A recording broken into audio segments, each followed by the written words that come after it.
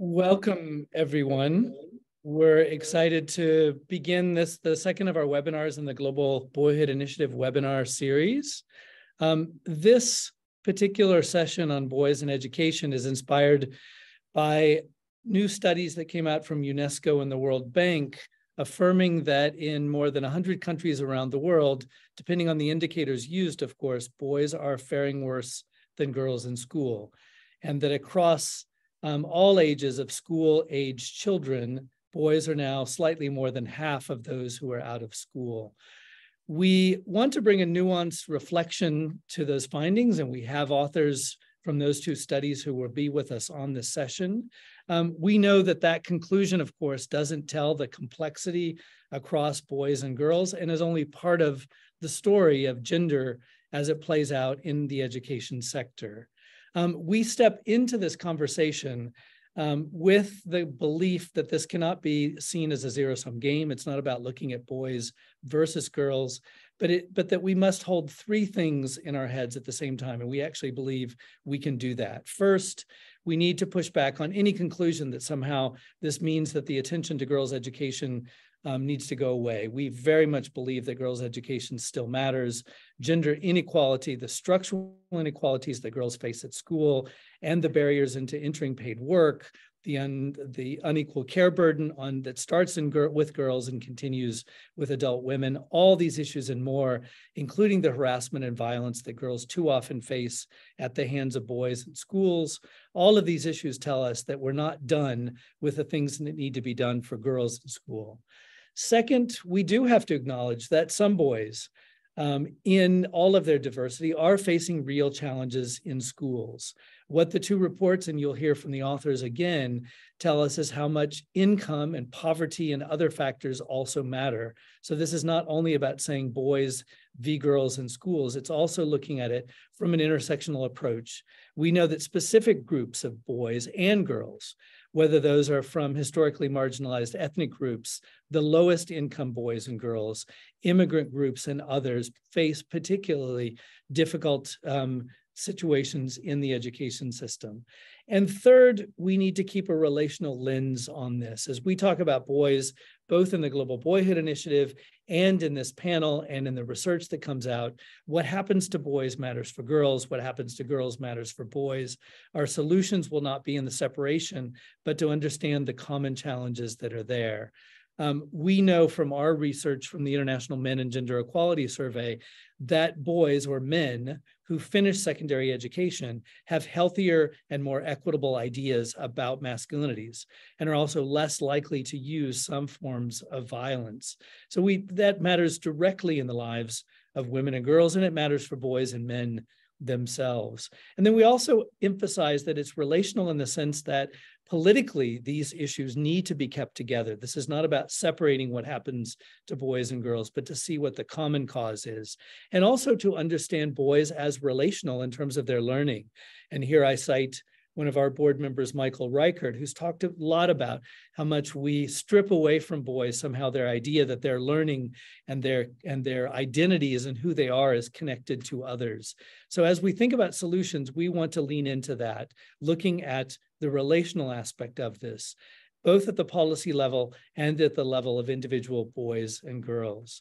As I said at the beginning, this webinar is part of the Global Boyhood Initiative, which is a multi-country advocacy research and program implementation initiative created by Equimundo and by the Kering Foundation, and now led by Equimundo in partnership with our anchor partners Plan International and Gillette.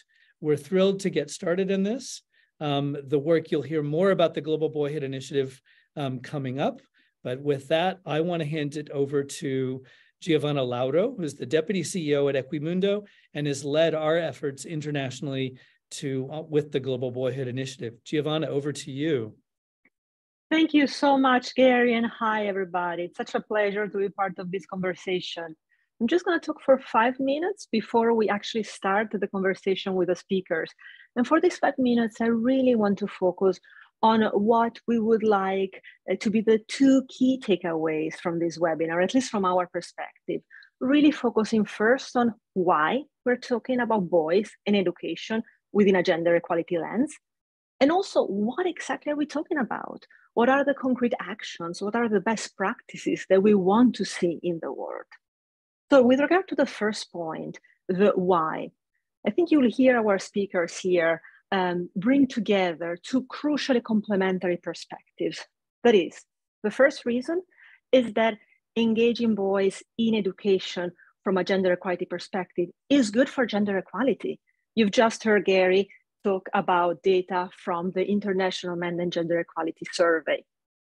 Investing in boys' education pays off in terms of greater support for gender equality and um, greater gender equitable behaviors. We also know from a broader body of research that in order to change manhood, in order to change the ways in which uh, young men are socialized, we need to start early. And that's why the Boyhood Initiative starts as young as four and in some countries, like Mexico, we are about to start working with um, our NGO partner, Gendes, with boys as young as three in daycares with support from the FEMSA Foundation.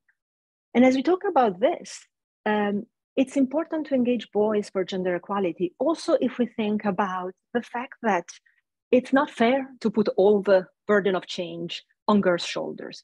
It's not fair, and it's also not effective enough. We are seeing the backlash that is happening globally across so many different contexts. And so that's why we need to bring boys and future men on board in the fight for gender equality. So that's the first why. The second why is that uh, engaging boys in uh, education within a gender equality framework is good for boys themselves. We cannot shy away from saying this. And we also need uh, to, uh, to say that uh, boys experience certain vulnerabilities uh, that may not be fully addressed by gender blind programming. As we'll hear from our colleagues at UNESCO and the World Bank, uh, there are specific vulnerabilities, specific issues around um, uh, school participation, school retention, learning, including social emotional learning, that need to be addressed uh, for boys, just as we do for girls. And within this context, of course, a nuanced understanding is really important. Along with the global data, we really need to dig deeper into the country specific context to understand the gender power dynamics. And so, as part of that, I wanted to flag to you all a series of reports that we started in 2020 about the state of boys in specific countries. Countries. We started in the US, um, in partnership with, uh, in, with the support from the Kering Foundation, we have then also expanded this series of studies to other countries in partnership, for instance, with Plan International in Italy, in Ecuador, in Bolivia.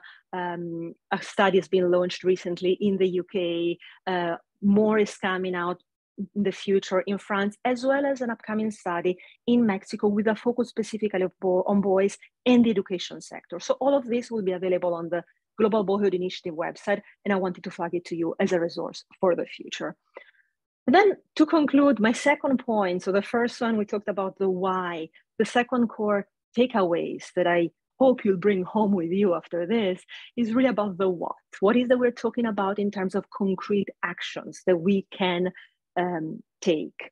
Uh, well, the first one is that really what we're talking about here is gender transformative uh, interventions. I know that our colleagues from UNGEI have a lot to say around this. How can we fight um, gender stereotypes and harmful gender norms in schools that is not just sensitizing boys and girls about the benefits of gender equality, but really changing the gender power dynamics. To do this, we need to work with boys. We need to work also with girls because girls and women can also be um, internalizing harmful notions of femininity and masculinity and Room to Read uh, will have a lot to say about what they're doing on this around the world. And finally, we need to work with the ecosystem in which boys live. We need to work with their families. We need to work with their teachers, with their coaches, with the communities, with the institutions in which they live, including schools. And that's exactly what the Global Boyhood Initiative is about working with boys and the ecosystems in which they live to promote sustainable change around gender equality. With this, I uh, will end here and I will give the floor back to Gary. Thank you so much for your attention. Thanks, Giovanna, for setting up um, the background on the Global Boyhood Initiative. And I want to turn over now to our panelists. We want to hear first from these two landmark studies from UNESCO and the World Bank, and then from other colleagues who have been so crucial in the, um, the, the push for gender transformative education. Um, so I want to turn over now to Matthias Eck. Matthias is a program specialist in the section of uh, education for inclusion and gender at UNESCO. He and I see other um, partners of his from UNESCO are online and participating as well. Matthias and team have led this landmark report um, on boys and education that UNESCO put out last year. Um, Matthias, the question to you is, you've come out with this landmark report on about gender and education with a focus on boys um, with lots of recommendations as well. It's not just pointing out the problem, but a huge um, focus of the report on recommendations. So uh, over to you. Tell us what the headlines of the report are and um, tell us what the key recommendations are that you come out with. Thank you very much, Gary. And I think uh, there's a PowerPoint that you will share from your end. So while we are pulling this up, um, I'm really delighted to share the results of the UNESCO Global Report on Boys' Engagement from Education with you. Now, this report focuses on countries and contexts where boys are struggling to access education and progress. And I would like to make three key points uh, today. If we move on uh, to the next slide, the first point I would like to make is on the global situation of boys' education. Now, although girls have more difficulty accessing education in the first place, boys face increasing challenges as education moves further. As the report shows, boys are at greater risk of repeating grades, failing to progress and complete their education. The report finds that boys are more likely than girls to repeat primary grades in 130 out of 140, 42 countries. And in 73 countries, less boys than girls are enrolled in upper secondary education. Globally, 88 men are enrolled at university for every 100 women, and in all regions except sub-Saharan Africa, young men are at disadvantage in tertiary enrollment. When it comes to learning outcomes, 10-year-old boys fare worse than girls in mastering reading skills in countries with data. Now, the figures released uh, just a couple of months ago show that there are now about 190 million girls out of school versus 126 million boys. And the biggest share of out of uh, school um, children, boys, sorry, is concentrated at the upper secondary level. And while previously boys' disengagement dropout was a concern mainly in high income countries, it's now in several low and middle income countries uh, that have seen a reversal in gender gaps, with boys now lagging behind girls in enrollment and completion. Now, gender parity is only one measure. It is necessary but not sufficient to achieve gender equality. And therefore, the report not only combined quantitative and qualitative research, but it also included several national case studies and they were based on in-depth interviews and focus group discussions at school. I would like to share one quite moving quote from these. An adolescent boy said, and I quote, I still remember the hitting. In grade five, I had a teacher who for some reason hated me and made me hate studying. As a result, I became stubborn and refused to study. I still remember the teacher once brought an electric cable and had two boys hold me and he hit my legs with a wire to the point where I couldn't walk. Now, if we move on to the next slide, um, the second point I would like to make is on the reasons why so many boys are disengaged from education. Now, the report finds multiple factors um, combined to prevent boys from engaging fully with learning and contribute to boys exiting education early. You can see them on the slide, and I would like to highlight a few. Poverty mentioned by Gary in the beginning is an important factor. Now, gendered norms and expectations impact on boys' motivation, desire to learn. For example, in several countries, boys are expected to become breadwinners and leave school early for work. In many contexts, school activities in certain subjects are considered at odds with expressions of masculinity, making education unpopular with boys. And there are practices such as gender segregation that contribute to boys' low motivation, underachievement, and disengagement from education. Harsh discipline, corporal punishment, and other forms of school-related gender-based violence impact negatively on boys' academic achievement and attainment. And fear and experience of violence lead to increased absenteeism and may contribute to dropout. And boys are also more likely than girls to experience physical bullying, and they are often also targeted because of their real or perceived sexual orientation and gender identity or expression. Uh, if we move on to the next slide, the third point I would like to address is why all this matters and what we can do about it. So we know that globally severe gender gaps in economic participation and opportunity, as well as political empowerment at women's expense persist, and the latter gap is even growing. We also know that girls often face greater threats to their rights.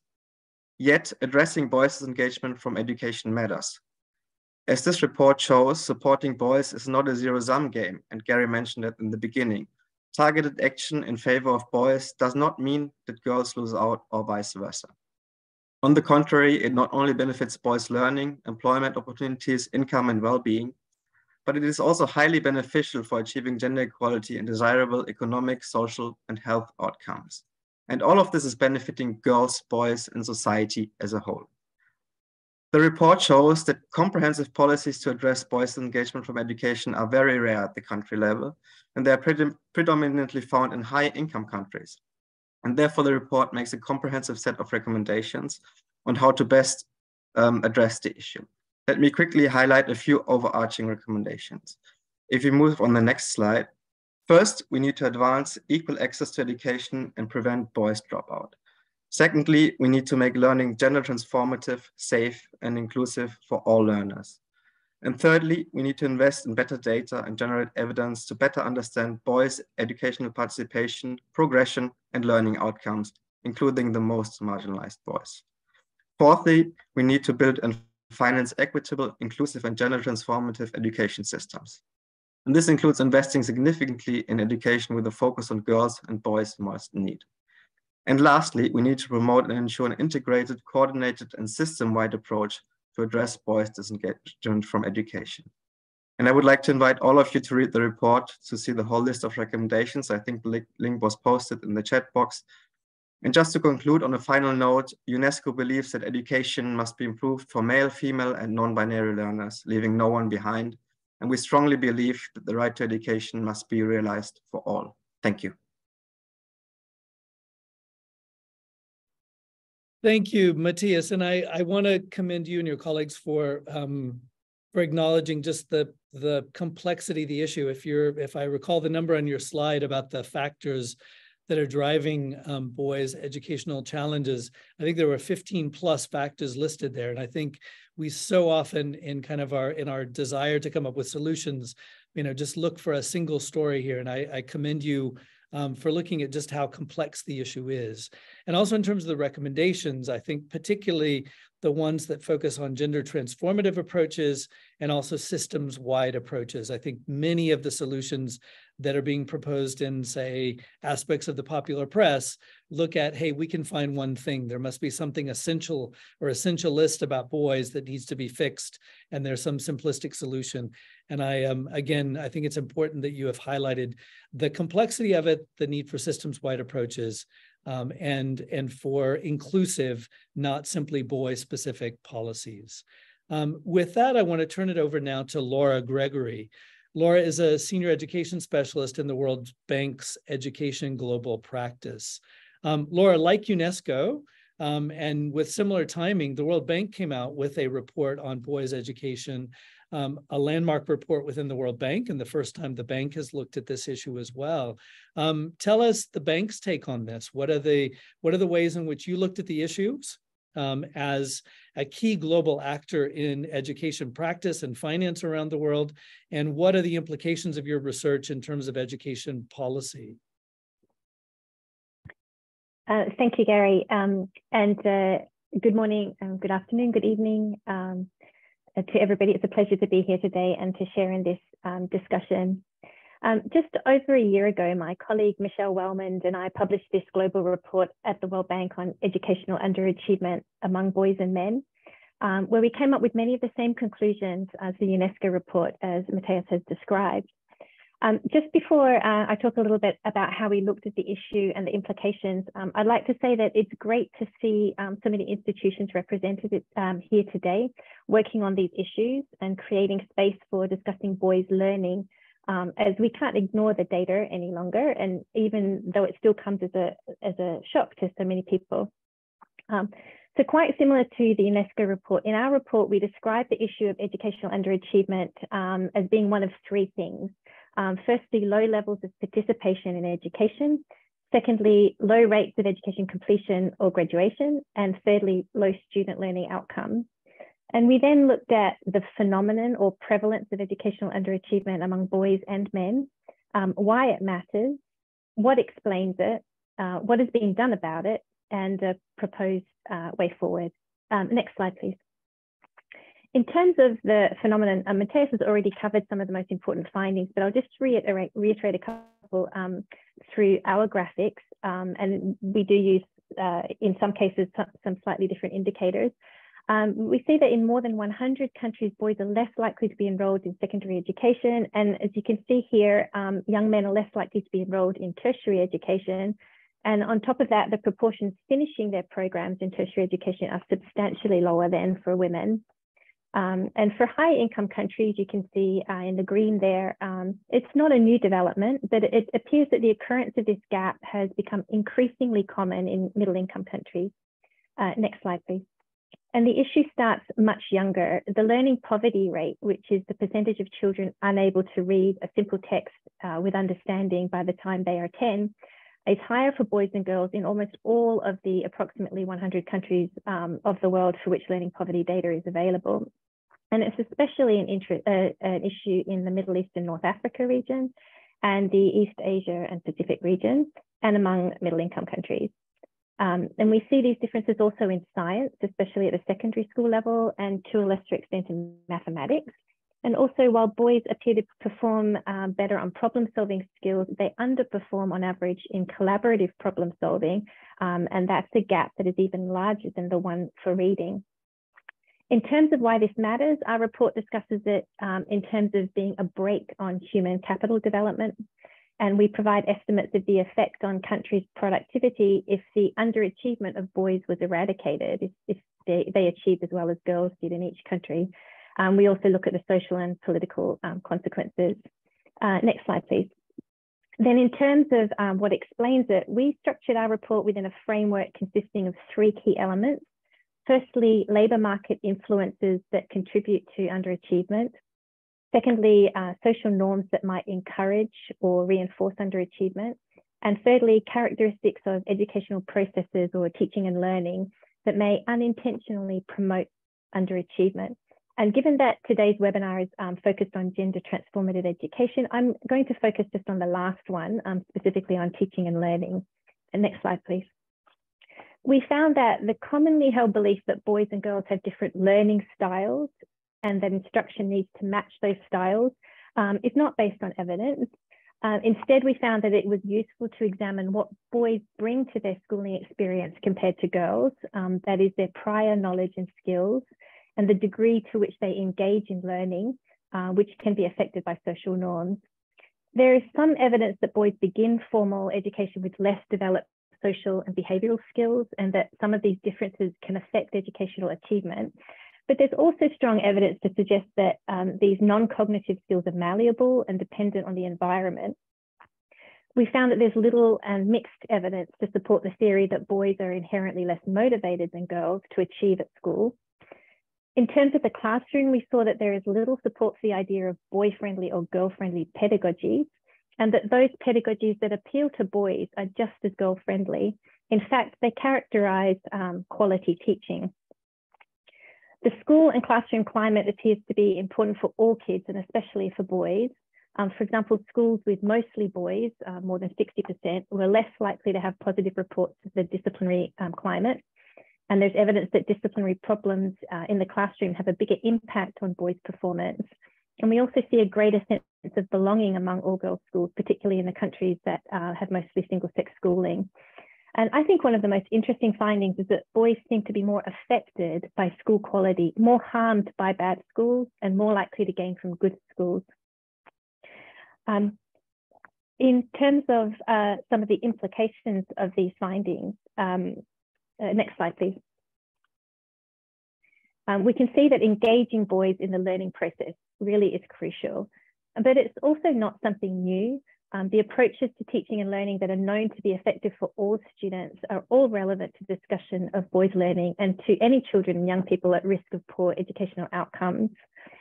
With school and classroom climates having a greater impact on boys, Uh, we think working with school leadership becomes very important, um, not exclusively for the purpose of raising boys' attainment, but because it's important for all students. And we mentioned in our report some of the types of whole school systematic approaches to help improve um, climate. Um, we note that some of the efforts that have been made to engage boys in reading, um, given it's such a fundamental uh, skill um, uh, affecting other learning, including evidence on the importance of offering a wide variety of texts and giving space to talk and reflect on reading. And making sure that boys don't fall too far behind appears to be crucial. But of course, um, sometimes regular schooling just doesn't work and alternative, less formal education paths um, have been found to be successful for some boys. we do think that a lot more research is needed, um, but from what is available, we've concluded that what works for girls learning is also good for boys learning, though it may not be sufficient to help boys achieve better outcomes. Um, back to you, Gary, and I look forward to hearing from the others. Thank you. Thanks for those conclusions, Laura. I just wanted to call attention. Um, first, I think it's very important that you question this idea that somehow boys learn inherently differently and that we need some boy specific pedagogy. Um, I think the conclusion that good schooling is good for girls and boys, quality education works for both, and that there's nothing um, inherent or essentially different in the way that boys and girls learn, I think is key because um, I think so often we find ourselves sort of pushed into those simplistic solutions. For so, thank you for that, and I think it also helps us keep a focus on saying it's not about you know um, boys step into the education system with somehow with some inherent def deficits or that boys learn differently than girls, um, but that we probably have many external factors that mean um, that we need to pay attention to as they affect the school system. So thank you for that. Um, I now want to turn to uh, Antara Ganguly, who is the head of the UN Girls Education Initiative, um, which has been at the forefront of the UN's work to say what is happening to girls in school, how do we achieve full gender equality and gender just education systems. Antara, thanks for joining us today. You've heard about these two reports. I know that you know the, the findings and conclusions in them. Um, would love your take on it. We know that education is only one of the vulnerabilities that you look at in terms of girls and children in general. Um, and what do you think the UN and the multilateral system should do with such a complex, problematic um, conversation around gender and gender transformative education? Thank you so much for that, Gary. Thank you for having us here. Uh, thank you, Matthias and Laura, for sharing the findings from your reports. Um, I'm very, very happy to hear um, the focus on LGBTQI learners. Uh, the UN has definitely not been at the forefront and standing up for the needs of these children, so I'm really happy that my colleague brought that up. Um, if we could share the, the slides, Caroline. So I'll start with this slide. This is an analysis of Disney animated movies broken down by the amount of screenplay, so voice of um, different characters in the movies and gender balances. Now, this analysis is from 2016, and I can see that the source is missing, and we can we can share that. And I am the mother of a three-year-old, and so this is. It makes me angry, but it also makes me think how much harder my life would be in raising a feminist child had I had a son. Because when I have a daughter and then she's watching these movies, I know what I am going to tell her. I, I know what she needs to hear. I know what she needs to see. I know that because I've spent my whole life doing that. But it made me realize when I was preparing for this webinar that actually, what would I have told my daughter if she had been a boy? because this what this graph is showing in that even in movies that are about strong women and girls like Mulan, Mushu, her protector dragon, played by Eddie Murphy, has 50% more words than Mulan herself. I mean, talk about mansplaining. So the reason I'm bring I'm, I'm, I'm starting with this and answering your question, Gary, is that there is something we need to do boys in a way have a harder journey in some ways getting to gender equality than girls because they are growing up with everything around them telling them that their voice, their agency, their decisions are the main actions. Not just in movies, which we're seeing here, but we've also seen analysis of children's picture books where 80% of animals are male and the ones that are females are usually mothers or babies. And there's also analysis on video games showing that. And while this is a privilege that being a protagonist is powerful, it's also a burden. And that's the amazing work that Equimundo and others have been doing around, and around dismantling the boxes of masculinity because power is not everything, and yet boys are taught that it is. Laura talked about how boys benefit differently from good schools and bad schools. The analysis in the US has shown for three decades now that girls actually have higher self-esteem and, ha and have better math and um, STEM scores when they go to all girls schools boys have worse when they go to all boys schools. So what this says to me is the, the socialization that children are going through, not just in schools, but outside schools, and families and communities, in front of TVs where children spend a lot of time on their phones, is critical to solving the, the inequities and the underachievements that are happening in school for girls, but also for boys. And today we're talking about boys, and, and hence I wanted to start by making this point. In the 80s, we used to have this slogan when we marched that said, it's not um, love of power, it's power of love. And this is where we don't talk about things like love in, in international development, but boys don't get talked to about love enough and they are talked to about power, perhaps way too much. If we can move to the next slide, and then I'll, I'll stop. This is an illustration, and I'll, I'll pop the link in the chat. We've been talking a lot about vulnerabilities and um, well, we've been talking a lot about educational achievement.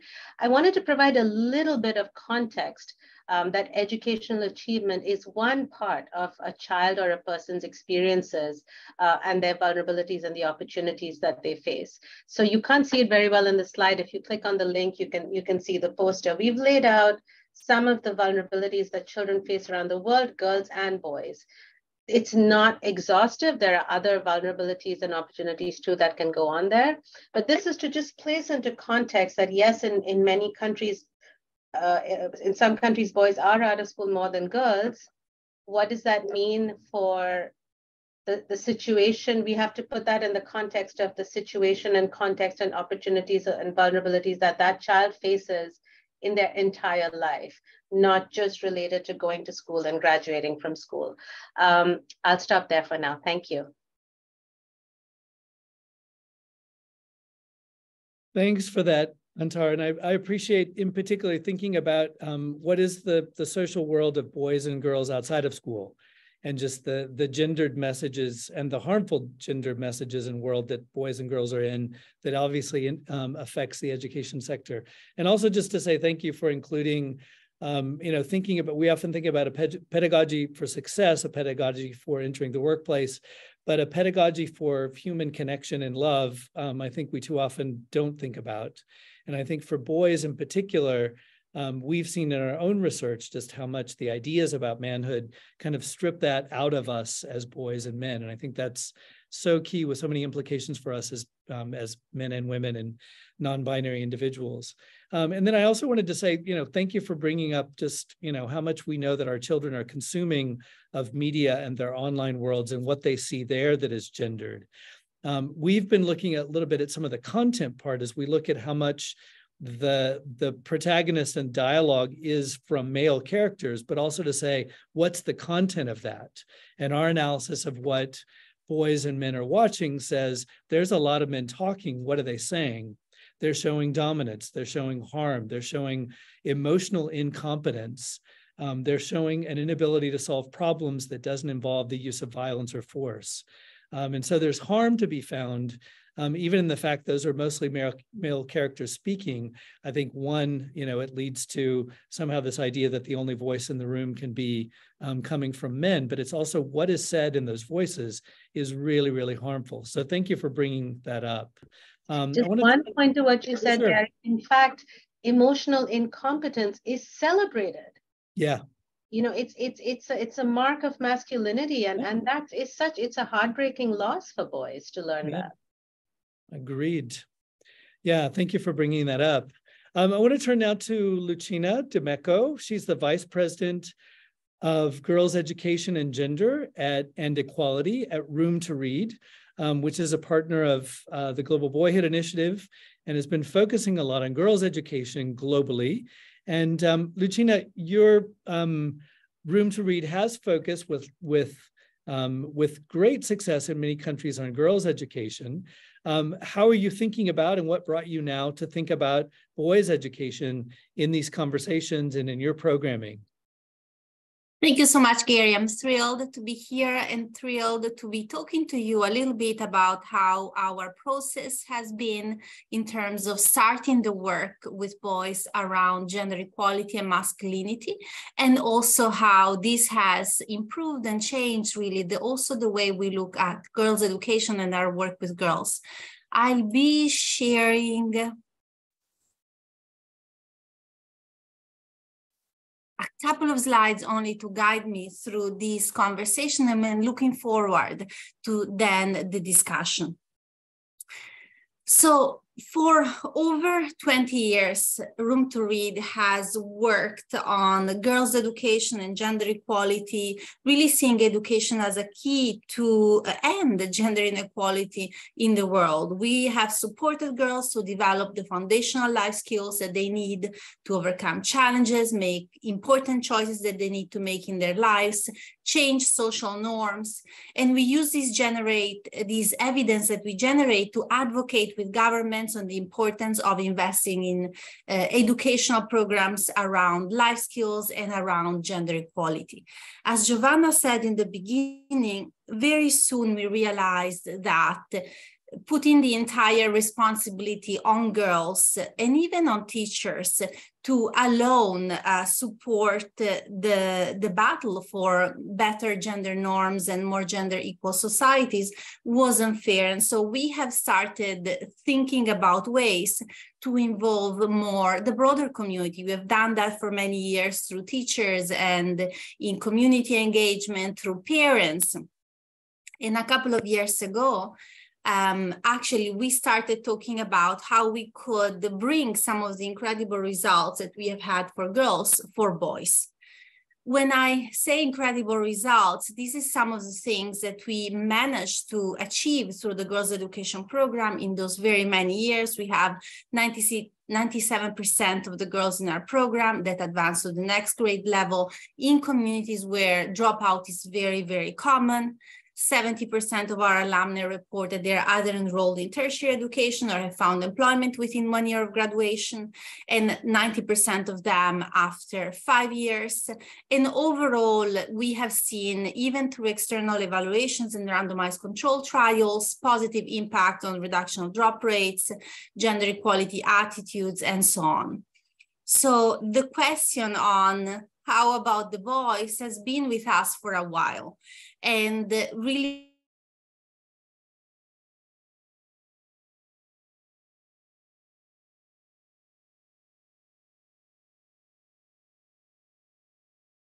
towards that broader gender equality goal.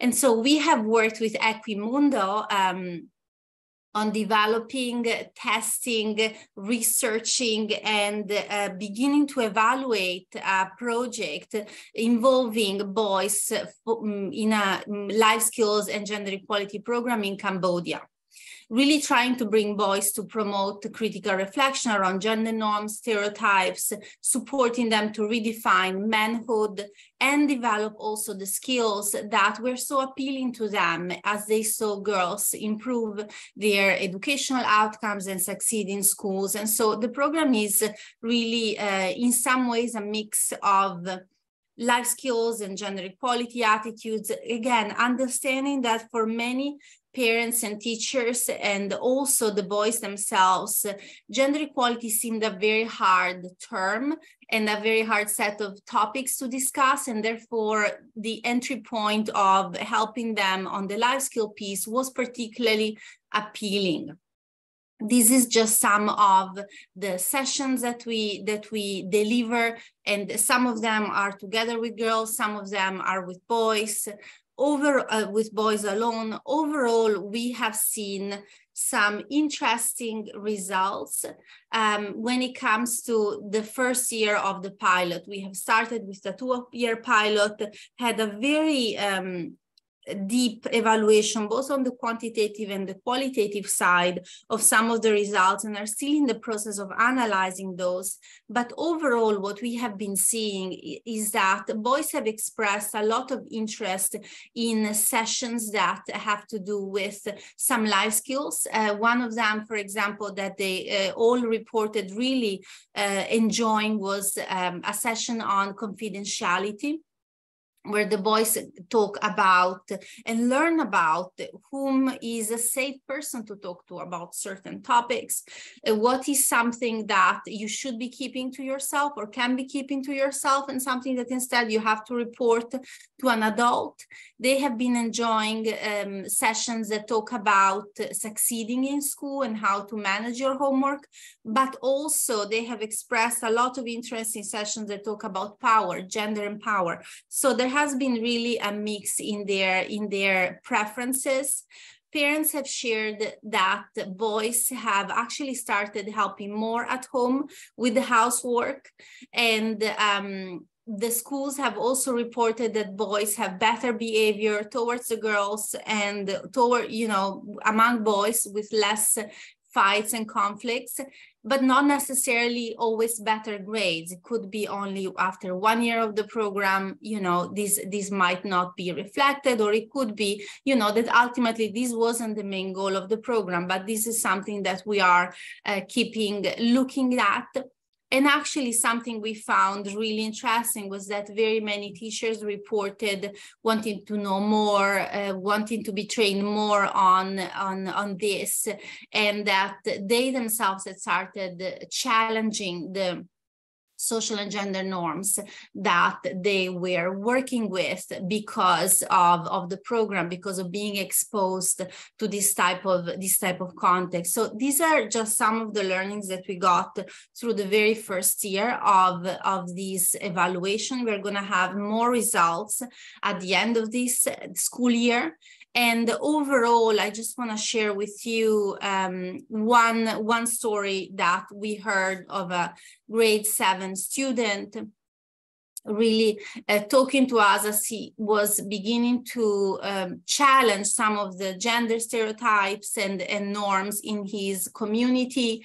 And he reported to us that he was struggling to fight against a gender stereotype based on a proverb that many people in his community believe, like father, like son. And he told us, to me, it is such a negative norm because I will never copy the ways that my father used alcohol, domestic violence, and bad words to overcome challenges. And so those are just some of the um, you know, the things that keep us really invested in this work and wanting to wanting to continue learning how to further support boys both in their schooling and educational outcomes as well as the challenging of harmful norms Thanks, Lucina, for those reflections. And I think they, they become vital if we think about the scale of the problem, the 250 million plus children of school age who are out of school and I think we do have to think of the scale that Room to Read has achieved with your programming. So thank you for sharing that. I think it's also key that you you talk about you know building into the pedagogy critical reflections about masculinities, what harmful norms about manhood, the man box, whatever we want to call it, how those matter and how engaging boys in that critical reflection as a key part of a gender transformative educational approach. And thanks for sharing as well that you know you're on a journey and learning on this. Um, these are not sort of, you know, one one quick program and we will have resolved all of boys or girls educational issues. So thank you for those reflections. Um, we're going to now go back to some questions for for each of you and i'll start with um, matthias. Um, matthias you uh, you noted the report the unesco report has lots of recommendations around educational policy and pedagogy pedagogical practices um, tell us what UNESCO is doing or planning to do on implementing those recommendations, challenges that you that you face that are ahead of you to do this. Thank you, Gary, and I'm really enjoying the interventions of other participants in the discussions. Um, well, UNESCO has identified those recommendations where it can take the lead to implement them and has also started discussions with partners on recommendations that fall in their area of uh, expertise. Um, so as a first step, UNESCO has set up, set up a consortium to address boys' engagement from education. And the proposed consortium will generate research to further build evidence uh, on boys' engagement from education, implement programs um, and put the evidence to work, and raise awareness on boys' needs and promising practices to meet them.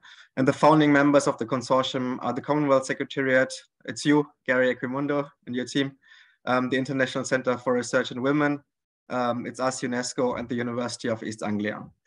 Now, um, two key recommendations of the report were one, to support governments to enhance intersectional analysis on boys and, and young men for policy decisions, and two, to develop gender responsive education sector plans and policies to address challenges that are specific to boys. And now UNESCO has done a gender analysis to inform the preparation of the education sector plans of Grenada, St. Lucia, and St. Vincent and the Grenadines.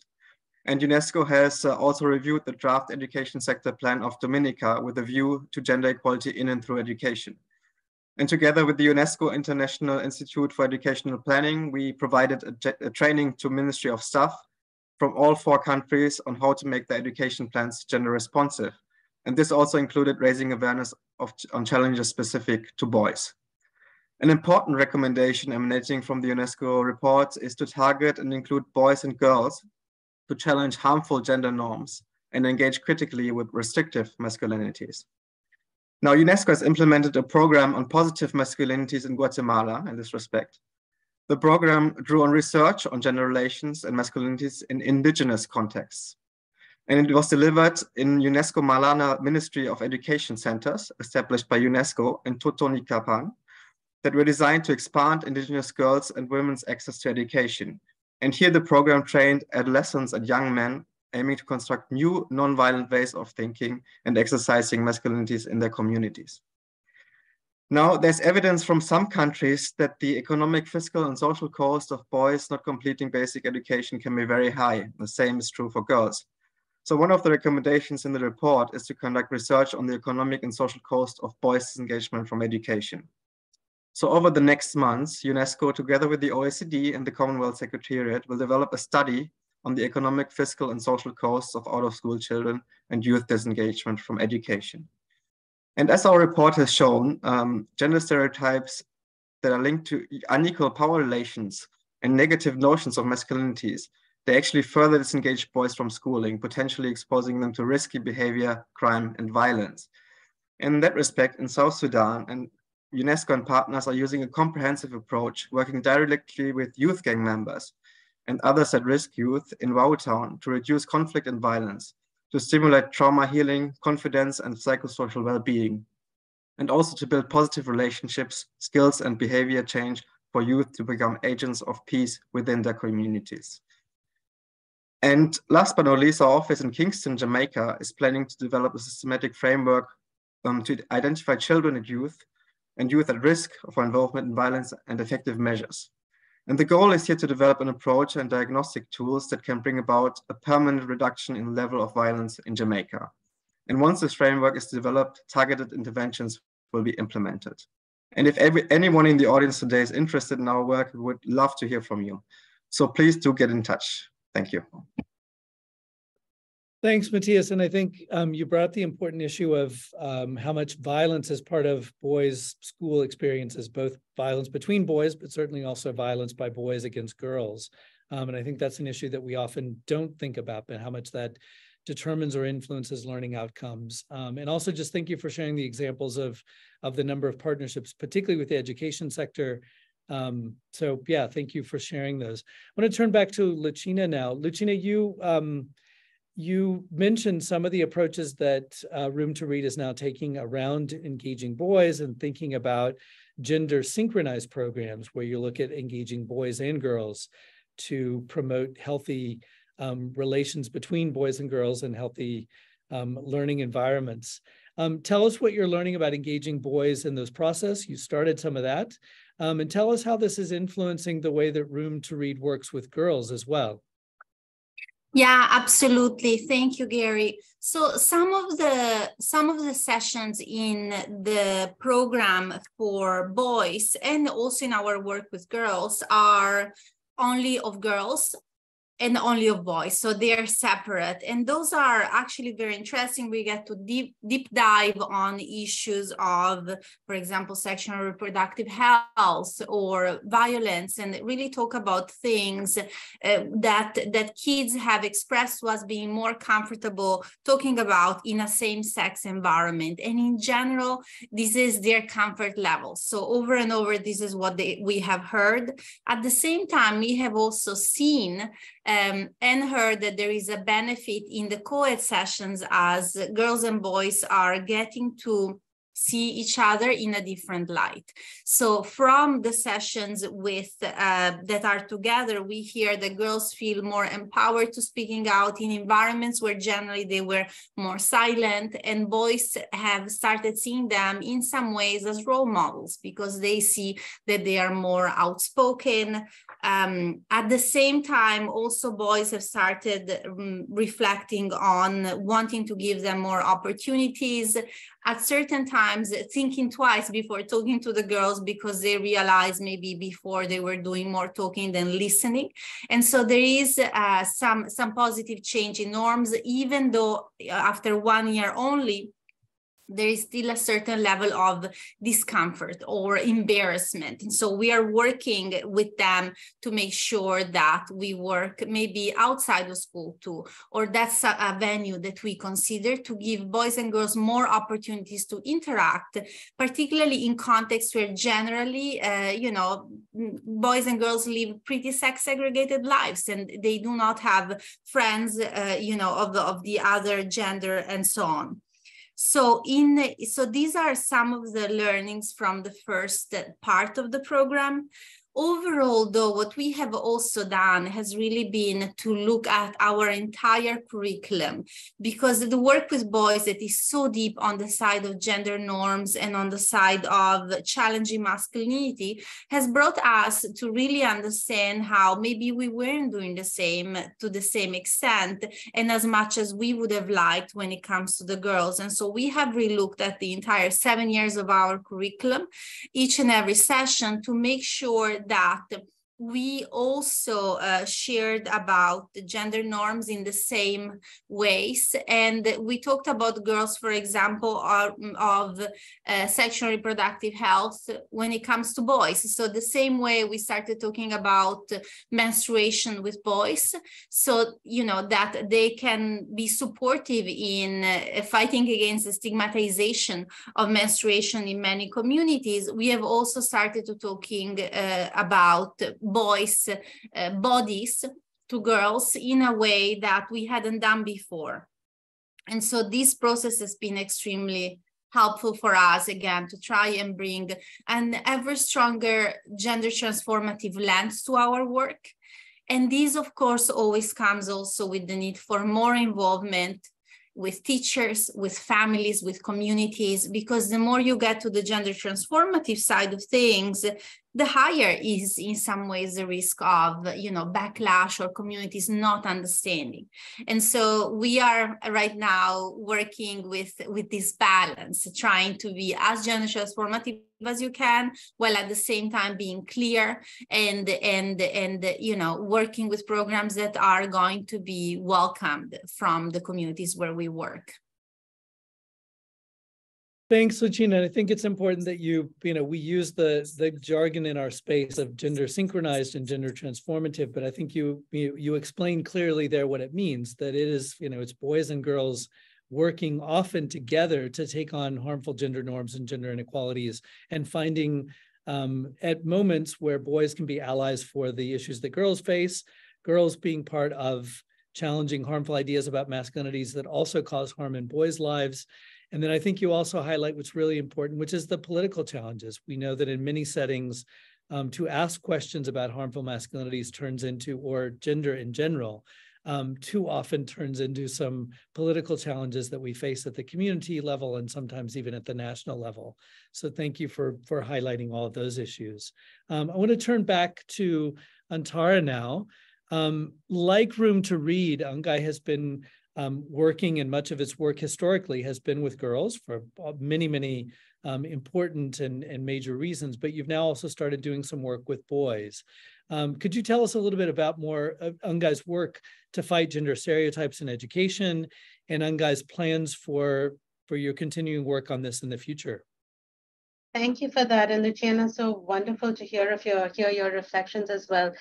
Um, I wanted to, I guess, first take up the term gender transformative and and perhaps reflect that to transform a gender norm is perhaps the deepest battle of our civilization. So it is not an easy thing to do. And we use the term gender transformative education very often and, and sometimes I think without thinking about what it is we are asking of ourselves. I can say right now that we are trying to transform gender norms. We are trying um, to get to that, but at the very at the best, we are gender responsive. To say that you have transformed a gender norm means that a woman and a man, not a girl and a boy, but a woman and a man in that community have equal power and equal sharing of resources. And it is very difficult to point to any community in the world that has gotten to that. So just wanted to start with that, with that reflection. We work a lot, um, we've, we've started working on what we call a program to end gender stereotypes in classrooms. Um, and this is how do we utilize the massive potential of the entire education ecosystem. So the classroom, the teachers, the children, the parents, the spaces, the routes to help children ask questions. Um, and in fact, the impact of any programming you see on ending gender stereotypes that reaches uh, or children of all genders, you actually see a, a, a huge change in reported uh, uh, changes in attitudes and behaviors more in boys than in girls. So when I was doing this work and we asked these children for two weeks to keep a diary of how many hours does your mom sleep, does your dad sleep, does your mom do chores, your dad do chores, watch TV, leisure, work, so on and so forth. And they obviously came back saying, yeah, my mom sleeps five hours, my dad sleeps eight hours, my mom barely watches TV and my dad, you know, goes to the tea stall and my mom doesn't. The girls sort of reported back like, yeah, duh, that's how life is. The boys came back, and these were 10 to 12 year old boys, rural boys, semi literate, uh, agricultural, and they were enraged. They were so angry because they loved their mothers and they hadn't seen that this is what was going on in their home. So they were angry with themselves. They were angry with their with their fathers, with their mothers but that anger was also masking sadness and vulnerability and helplessness. So just in the way they were expressing themselves was also an expression of socialization. So we are, I'm happy to report that we're now going to be actually uh, doing more of this work. We are being funded by Echidna Giving to scale up this work. We have formed a coalition of actors who are working on addressing harmful gender norms through education. And if you're interested in joining that coalition, please do reach out to us. I'll, I'll put my email address in the, in the chat. And the one last point I want to make is when we look at educational statistics and indicators on gender, it's really important that we keep correlating that back with other gender indicators. So for example, when we talk about educational attainment and boys and young men going to tertiary education, we need to correlate that back to statistics like what percentage of women are in parliament, less than 23% even today. What percentage of women are in, are in boards around the world? Less than 24% even today, and that's much less in developing countries. This is not to take away from the importance of working on supporting every child and every young person to go to school and university, but it is to remind ourselves that we need to analyze the data and look at who gets to be where because gender equality is intersectional and so when we and i saw an, an, an, amazing comment from a colleague in chat in brazil when we talk about boys being disenfranchised and young men being disenfranchised we have to talk about where they are coming from and, and which sections of society, which classes, what poverty levels they're coming from, because we cannot support them without that intersectional understanding. I'll stop there. Thank you, Gary. Yeah, thanks for that, Antara. And I think um, first, you know, I appreciate your comments about what is gender transformative. How do we measure it? What does it mean when we achieve it? Because it's an easy expression to use, but achieving it um, we know is a is a far more challenging thing. And I think your reflections as well about how do we build in really a critical reflection pedagogy so that boys and girls become part of that transformation. Um, and just you know what that is what's required in that to build it into education systems. And i appreciate your final comment which lends you know it does require us to say there is no simple you know that this finding about boys educational challenges um, does not mean that patriarchy is being shaken at its you know at its base. In fact lots of men are still holding positions of power. So even if some boys are faring poorly at school um, are certainly ways that power continues to work um, to put men in positions of power the examples you gave in um, in state houses and parliaments and congresses, and then in the corporate sector in the workplace across the world. So thank you for that. I think we, we do have to look at power in, the, in those complex ways. So appreciate those reflections. Um, Laura, I want to turn to you for a last question, then we'll take some questions from participants. Um, your report and in your comments, you were very careful to talk about just how context and regional specific these issues are. Um, and so would love some reflections from you on what do you see as, you know, how do these issues play out in different regions? And particularly, um, how do you see some of the issues playing out in some middle and higher income countries in terms of boys and education? Um, yeah, thanks, uh, thanks, Gary. And um, it's been really great to, to listen to all the other speakers and some um, excellent questions coming through um, in the Q&A as well. Um, but yes, we certainly found that the issues of boys' educational underachievement um, were very context specific. Um, actually, I've worked for many years in Saudi Arabia where the biggest gender gaps in um, uh, uh, student achievement in the world are found. And there are several obviously very unique factors there, including gender segregated classes from grade one, um, but large gaps are also found in um, countries with quite different contexts to Saudi Arabia, such as in the Philippines or in South Africa. Um, it's a complex landscape. Um, in our report, we definitely found differences across and within countries, um, but also certainly some commonalities. Um, for example, uh, the issue affects all country income levels to some degree, but seems to become uh, more predominant as countries develop economically to become middle income and then high income countries. And um, perhaps this has something to do with a lag between the education expansion that has happened in those uh, in that development and the quality of education, um, which tends to lag the expansion. Um, secondly, another commonality that tends to occur more among the less advantaged and the least proficient. Um, thirdly, it's generally greater in rural areas compared to urban, at least for around two thirds of the country. Um, and um, the, la the last commonality I see is that really very few countries have done anything about it, um, even though it has been studied for some time, um, at least in high income countries. And in this respect, I would say that it's actually a looming issue for low income countries too, seeing the trajectory that countries seem to be experiencing as their, uh, their economies um, and education systems develop. And I think, you know, we hope to look to the better performing education systems for clues onto how to better um, cater education systems to boys' needs and at least getting them to meet, um, you know, uh, minimum proficiencies. Um, and one thing to, to bear in mind is that the gap itself is not so much the issue, but the underachievement of any group of young, uh, children and young people is the main issue.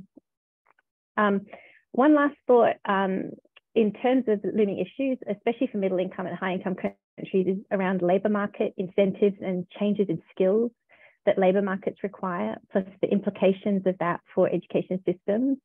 Um, while we see that incentives to continue education and enter the labour force um, can be different for men and women, um, and there are some unusual patterns. For example, we talk in our report about the US having around three decades now of downward trends of males um, in terms of skills acquisition, employment rates, um, occupational stature, and real wage levels. Um, but that hasn't incentivized men to enroll into tertiary education. And so there are some, several theories around that.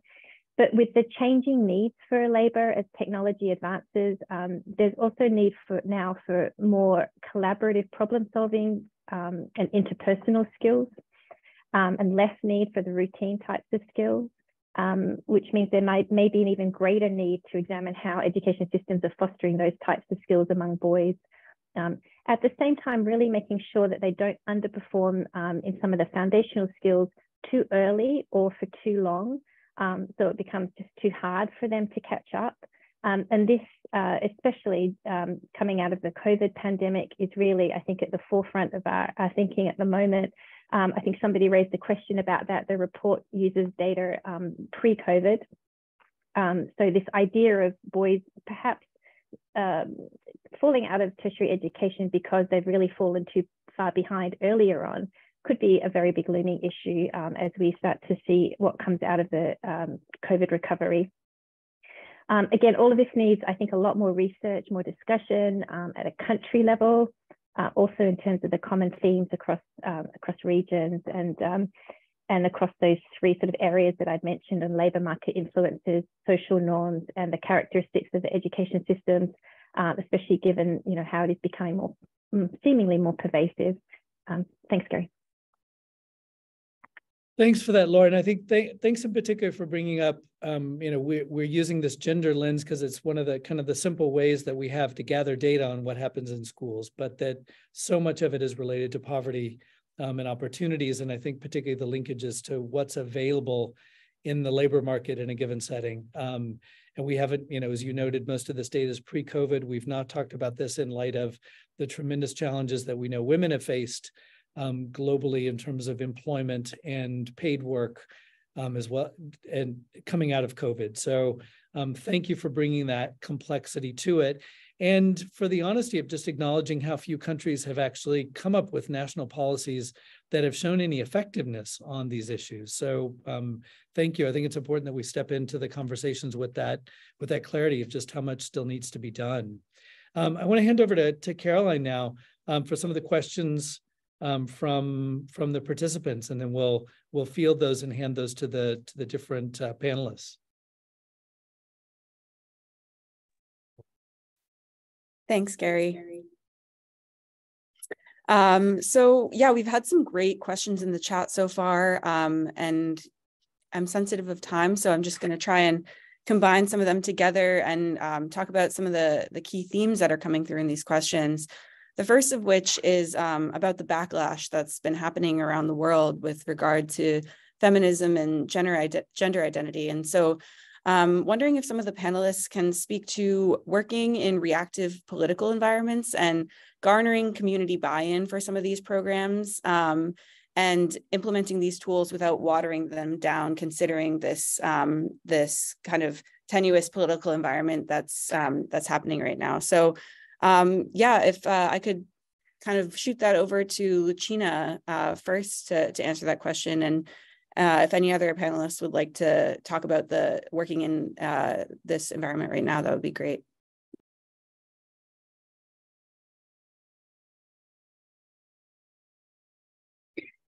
Thank you. Yes. So working on, um, you know, this this context of increasing, um, you know, increasing backlash. I think in in some ways, I feel that Room to Read, uh, you know, is quite lucky in that in most of the communities where we have worked, we have long-standing relationships with families, communities, um, uh, schools, uh, teachers, those are teachers that we have worked with for many years in the context of the girls education program.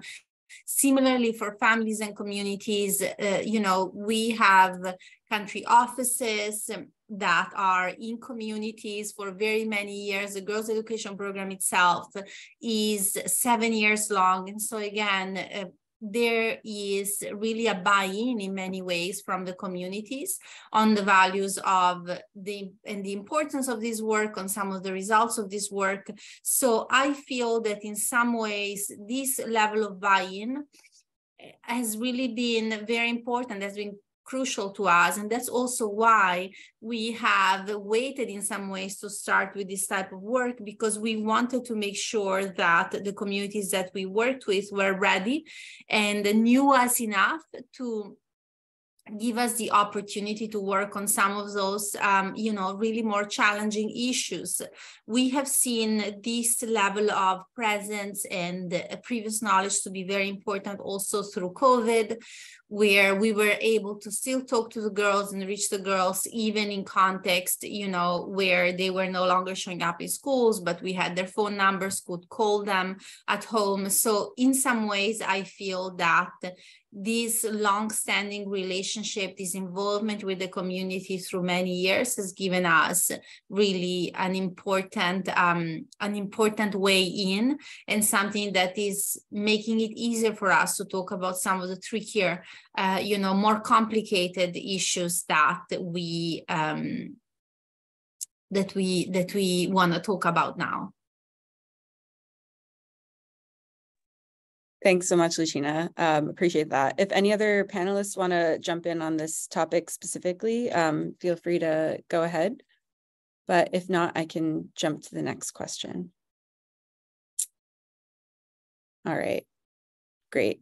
Um, so there was some questions about um, fostering behavioral change, uh, not just for the students themselves, but also um, for parents and teachers specifically. And Antara talked earlier about how truly difficult it is to change social norms. And um, I think all of our panelists spoke beautifully to um, what's involved in, in that. Um, so I'd like to just possibly pop it over to Laura or Matthias to talk about their data or overall reflections on moving the needle on some of these social norms and um, some, some key strategies to do that.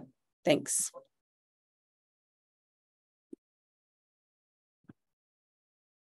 Uh, okay, I'll jump in first. Actually, I, I see um, the the first two questions quite related. Actually, um, from from the level I'm sitting at in the World Bank, um, uh, we often say that data speaks, and um, we use a lot of data. And um, I I've seen actually uh, myself in some countries where um, uh, the transformation from looking at the data and hearing all sorts of reactions and responses that um, uh, from denial to you know some excuses and um, other exceptionalities and all sorts of things but over time as that data is is um, consistent is triangulated is um, showing up in different ways i've seen um, uh, countries really shift their dialogue um, and start to make that shift. So I think um, in both of those questions that you're talking about, um, it's it's often a matter of just keeping that that information flow and that discussion and that data and the conversations as we're having now, um, and and not assuming that it's it's on deaf ears. It will eventually, um, and and it has eventually led to um, some uh, uh, good, interesting changes. Thanks. let me come in on this um, after Laura. Thank you. Um, I think changing gender norms, as was mentioned, is very tough. It's it's a hard thing to do. I think it involves uh, quite frank dialogue um, with teachers, with school principals, with parents uh, and students. Um, so gender transformative um, teacher training programs uh, surely help on this, but also engaging um, in more specific programs and extracurricular programs um, with, with boys and girls uh, on these issues. Let me uh, say that educated men are found to be more likely to treat women and men equally uh, and support gender equality policies. And I think that's a, a study that came out of Equimundo that showed that. Um, also, let me take the example of uh, violence, uh, which is linked to gender norms. Uh, we have worldwide an estimated 246 million children that experience school-related violence every year. It's a huge number. Um, and we know that boys who have a secondary education are more likely to condemn gender-based violence. So addressing boys' engagement from and disadvantaged education could be transformative in pro promoting gender equality, reducing violence, and protecting the futures of all. But as Lucina mentioned earlier, it's not only about education, but it's also that education is gender transformative and it is challenging really those harmful gender norms and harmful and restrictive masculinities. Thank you. Thanks, Matthias. Um, we had another question come through the chat um, about mainstreaming GBV topics in high school. Um, and that's happening, you know, at the school level, but how do we scale that up to the community level in terms of um, influencing uh, healthy masculinities and um, boys' education? So, Antara, great. I'm glad you came up on screen. I was going to ask you to speak to that a little bit. Thank you, Caroline, and thank you for that question. Um, uh, we in UNGEI, we, we, we co-chair with UNESCO uh, a global working group on ending school-related gender-based violence. Uh, and if you go to our website or to UNESCO's website, you'll see information on that. And what we found, um, and this working group has over 50 organizations around the world. Um, some are local grassroots, some are global.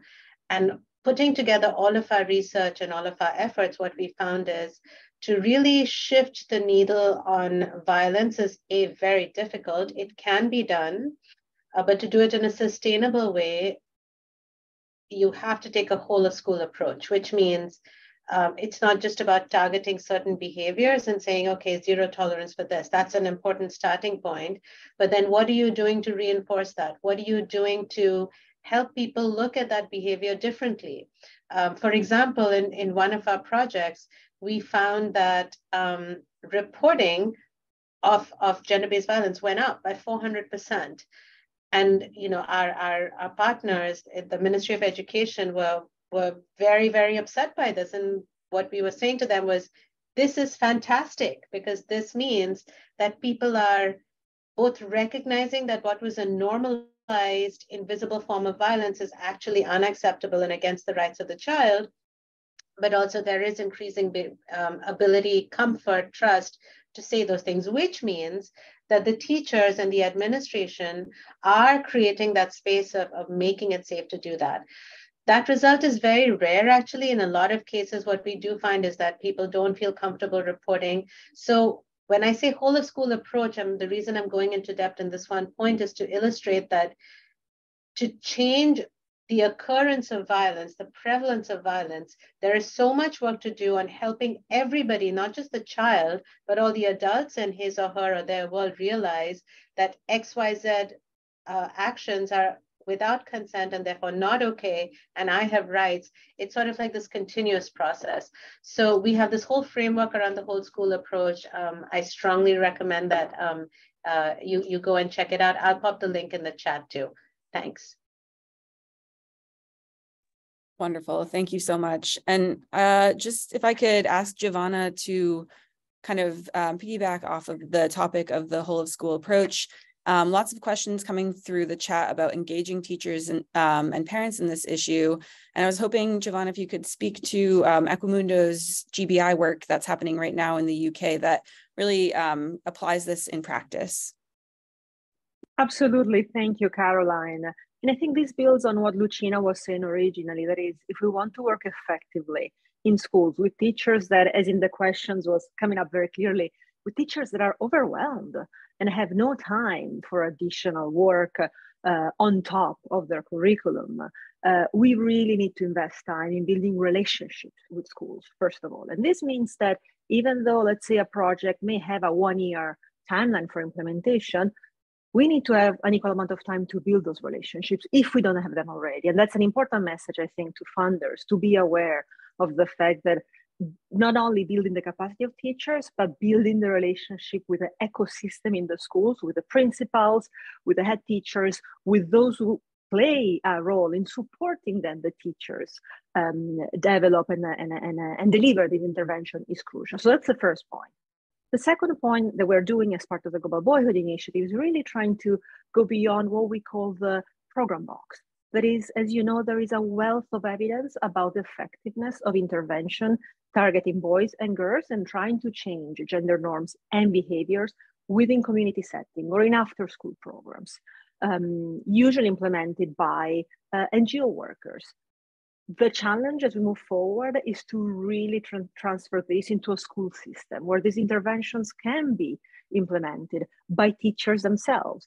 And so to do this, we need to invest in ways that uh, can build the capacity of teachers in a sustainable way while maintaining the quality of the intervention. So in the UK, we support from the Cummings Foundation, we've been working now for the last couple of years with a great NGO partner, uh, Lifting Limits, really to uh, help teacher incorporate uh, the work that we've been discussing about dismantling harmful gender norms as part of their uh, weekly uh, hour devoted to uh, PSHE, that is the personal, social, health and economics hours that is devoted um, to this general topic in, uh, uh, in UK schools. So that's one way. Of course, again, this requires changing the ways in which we work. This requires a lot of pilot testing uh, and uh, really listening to teachers, understanding what their concerns are, helping them also address parents' concerns.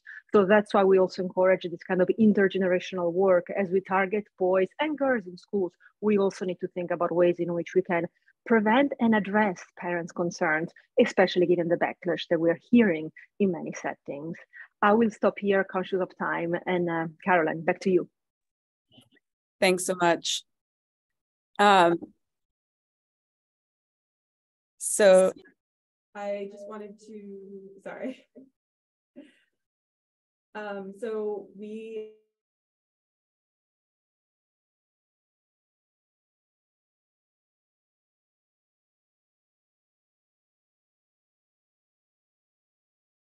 everyone for joining. And with that, I'll hand it over to Gary. First, I want to thank the panelists for um, your insights, your reflections. I think um, you know you all offered insights that stepped away from any. You know, there's one one simple solution that will fix all this. I think looking at the complexity um, and recognizing that is where we have to start on this. I want to just offer a few kind of reflections on where we, you know, where to go next on this. One, I think all of us have emphasized just how much that gendered norms, harmful ideas about masculinities, harmful power structures that give boys and men more power and some boys and men more power over others are so key to this. And if masculinities are a part of this, um, I think there's reason to be quite concerned. We know from the data that uh, Matthias mentioned, our International Men and Gender Equality Survey, we just did a review of 30 plus countries over the 10 years we've carried it out. And actually, young men are going backwards um, in terms of attitudes around health healthy and equitable masculinities. We are not winning the global battle of engaging men to be allies for healthier, equitable ideas about manhood. We know from other survey research that upwards of 50% of young men in some countries saying they think feminism has gone too far. There's been too much attention to gender equality when we have not achieved that equality. So I bring that up just to say we should be concerned um, for how much, if these harmful ideas about masculinities are part of the issue, we do have to go in with eyes wide open of how big of a challenge that is. Um, and we have to acknowledge, and we talked a little bit about the backlash, but there are deliberate political movements that are pushing back on this agenda for healthy, equitable ideas about masculinities, for power equality between women and men. And that relates to my second point, which we didn't talk much about, which is the online lives of boys and girls. Um, in many countries, we're seeing just how many hours boys in particular are spending online, how they're spending that time online, the messages they're finding online. Certainly, we know that in many parts of the world, parents are particularly worried about the online promoters of misogyny that are active and also quite organized and using powerful algorithms to promote unhealthy ideas about masculinity is also something that we need to be concerned about. Third, we didn't talk much about mental health. There's been a huge attention to the mental health of young people and how that plays out in gendered ways. Um, for boys and girls and how that influences the learning setting. So I'm I'm not offering any easy solutions. In fact, bringing some more thoughts of issues that I think we need to bring into this. Um, I do want to end on an optimistic note, and I appreciated that Giovanna brought some reflections from our partnership in the UK. And I had the chance um, just a couple of months ago to be in a classroom where some of these conversations were taking place with boys and girls. And I think the thing that I come out with is well done gender transformative pedagogy creates its own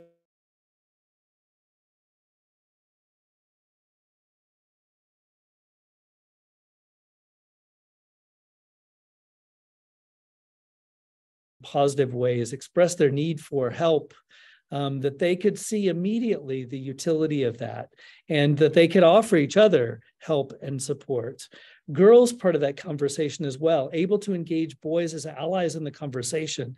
Teachers saying, not only did this improve gender norms, but things got better in the classroom overall the school headmaster saying this is so powerful we actually want to devote some more time to it because it's we're seeing the results in terms of educational outcomes parents giving positive positive feedback to the head of the to the headmaster as well. So i give all those examples to say when we can do it when we can take the time to do it i think truly gender transformative educational and pedagogical approaches when they can pay attention to that ecosystem of the school i do think they can work. And i think that's what we've got to lean into um, and, and, I echo the colleagues who said we need more research on what that takes. What does it take to take it to scale? What are those practices, and how do we how do we make those more universal? Um, again, I want to thank all the, the participants. Um, stay tuned for future GBI webinars. Um, and we're thrilled to, to be part of these conversations. Thank you to all the participants who joined us. And as Caroline mentioned, we'll have online a recording of this. And I want to thank all the colleagues at Equimundo, our communications team, Caroline for your support on this, and Giovanna for your leadership with the Global Boyhood Initiative. With that, thank all of you. Um, and we look forward to seeing you again soon. Take care.